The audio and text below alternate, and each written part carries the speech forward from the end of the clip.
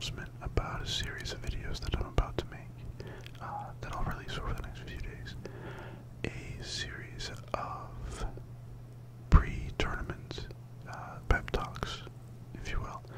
Um, after the Benzing Battle video, I had some requests to do a tournament videos, um, but I don't, I don't think that I can get the same effect about from a, from a tournament description that I get from a battle description.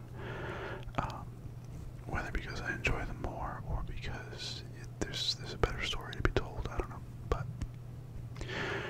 either way, I decided I didn't think those would work out real well.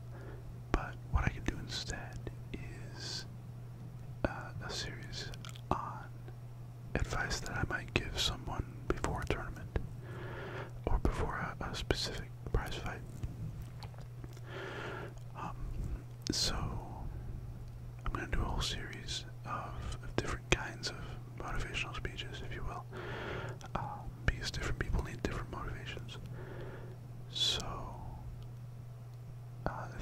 is as you right before the battle, the tournament, whatever it is, and uh, and your coach is whispering advice in your ear and dropping his earbuds.